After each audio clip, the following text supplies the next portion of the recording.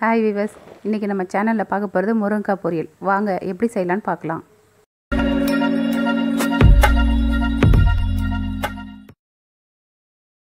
நம்ம சேனலுக்கு புதுசாக வந்திருக்கிறவங்க சப்ஸ்கிரைப் பண்ணிடுங்க பெல் பட்டனை கிளிக் பண்ணுங்கள் லைக் பண்ணுங்கள் கமெண்ட் பண்ணுங்கள் அப்படியே ஷேர் பண்ணிடுங்க முருங்கைக்காய் பொரியலுக்கு என்னென்ன தேவைன்னு பார்க்கலாம்.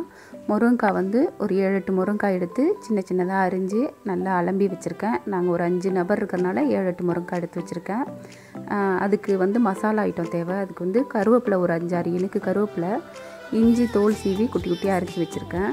பூண்டு ரெண்டு கட்டி பூண்டு சின்ன சின்ன பல் இருக்குது நாட்டு பூண்டு உரித்து வச்சுருக்கேன்.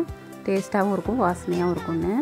ரெண்டு தக்காளி எடுத்து அரிஞ்சு வச்சுருக்கேன். நல்ல பழமாக சின்ன வெங்காயம். இது ஒரு பத்து பதினஞ்சு சின்ன வெங்காயம் எடுத்து வச்சுருக்கேன். இது எல்லாத்தையும் மிக்சியில் போட்டு பர பரன்னு அரைச்சி ரெடி பண்ணிக்கணும். அதுக்கப்புறம் முருங்காயை வந்து உப்பு போட்டு தனியாக வேக வச்சுக்கணும். தாளிக்கிறதுக்கு கடுகு உளுந்து தேவையான அளவு உப்பு மசாலா ஐட்டம் மசாலா பொடி. மசாலா பொடி வந்து நம்ம சாம்பார் குழம்புலாம் வைப்போம் பாருங்கள் அந்த மசாலா பொடி தான் இதில் எல்லா மசாலா ஐட்டமும் கலந்துருக்கிறதுனால வாசமாகவும் டேஸ்ட்டாகவும் இருக்கிறனால அதை வச்சுருக்கேன். அடுப்பில் வானலை வச்சு முருங்கைக்காயை போட்டு ஒன்றரை டம்ளர் அளவு தண்ணி ஊற்றி உப்பு சேர்த்து ஒரு மூடி போட்டு வேக வைக்க வேண்டியது தான் ஒன்றரை டம்ளர் தண்ணி சேர்த்துக்கிட்டா போதும். ஊற்றிட்டு ஒரு தட்டு போட்டு மூடி வச்சுருவோம். அடுத்து மசாலா ஐட்டம் பார்ப்போம். மசாலா எப்படி ரெடி பண்ணுறதுன்னு இஞ்சி பூண்டு அந்த கருவேப்பிலை தக்காளி வெங்காயம் இது எல்லாத்தையும் போட்டு போகிற பொறன்னு அரைச்சிக்கணும். அம்மி இருந்து அரைச்சோன்னா நல்ல வாசமாக டேஸ்ட்டாக இருக்கும். எல்லார் வீட்லேயும் அம்மி இருக்காது இல்லையா அதனால் நம்ம மிக்சிலேயே ஒரு அடி அடிச்சுக்கலாம்.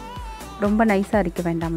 ரொம்ப நைஸாக அரைக்க வேண்டாம். இந்த மாதிரி பொற பொறன்னு அரைச்சிக்கிட்டா போதும். இதோ பாருங்கள் இந்த மாதிரி பொற பொறன்னு இருந்தால் போதும். இது மாதிரி இருந்தால் தான் நல்லாயிருக்கும். நைஸாக அரைச்சா நல்லா இருக்காது அடுப்பில் வானலை வச்சு வானல் காஞ்ச உடனே ஒரு நாலஞ்சு ஸ்பூன் எண் எண்ணெய் ஊற்றணும் எண்ணெய் காஞ்ச உடனே கடுகு உளுத்த பருப்பு போட்டு தாளிக்க வேண்டியதுதான். கடுகு நல்லா பொரிஞ்சு வரணும். நான் வாசத்துக்காக கொஞ்சம் பெருங்காயம் சேர்த்துக்கிறேன். கடுகு நல்லா பொரிஞ்சு வந்துருச்சு. இப்போ வேக வச்ச முருங்கைக்காய் அதில் சேர்த்துப்போம். சேர்த்து நல்லா பெரட்டி விட்டுட்டு நம்ம அரைச்சி வச்சுருக்கிற மசாலாவையும் அதில் சேர்த்துப்போம். நல்லா அதில் சேர்த்துட்டு அது கூட மசாலா பொடி இருக்குது பாருங்கள் மிளகாத்தூள். அது வந்து நம்ம ரெண்டு ஸ்பூன் சேர்த்துக்கிறோம். காரத்துக்கு ஏற்ற மாதிரி சேர்த்துக்கலாம். நான் ரெண்டு ஸ்பூன் சேர்த்துக்கிறேன். சேர்த்துக்கிட்டு அப்படியே பெரட்டி பெரட்டி விட வேண்டியதான் ஒரு ரெண்டு நிமிஷத்துக்கு ஒரு தடவை பெரட்டினோன்னா அடி பிடிக்காமல் இருக்கும். முருங்காயில் ஃபுல்லாக ஈவனாக படுற மாதிரி நல்லா பெரட்டி விடணும். ஒரு ரெண்டு நிமிஷம் பெரட்டுங்க ஒரு ரெண்டு நிமிஷம் விட்டுருங்க அப்புறம் திருப்பி ரெண்டு நிமிஷம் பெரட்டுங்க. அது மாதிரி பெரட்டி பெரட்டி எடுத்தோம்னா நல்லா வாசமாக இருக்கும். சமைக்கும் போதே வாசனை தூக்குதுங்க. இப்போ முருங்கைக்காய் சீசன் இல்லையா? அதனால் முருங்கைக்காய் வாங்கிக்கோங்க. ஒரு நாள் சாம்பார் வச்சா ஒரு நாள் வந்து பொரியல் பண்ணிக்கலாம். வேஸ்ட்டாக போகுதே காஞ்சி போகுதே அப்படின்னு ஃபீல் பண்ணவே வேண்டாம். ஓகே விவர்ஸ் இதை வந்து நீங்கள் செஞ்சு பார்த்துட்டு எப்படி இருக்குன்னு கமெண்ட் பாக்ஸில் கமெண்ட் பண்ணுங்கள் நன்றி. நூற்றி நாற்பத்தி நாலு தடை உத்தரவை மதிப்போம். வீட்டிலே இருப்போம். பாதுகாப்பாக இருப்போம்.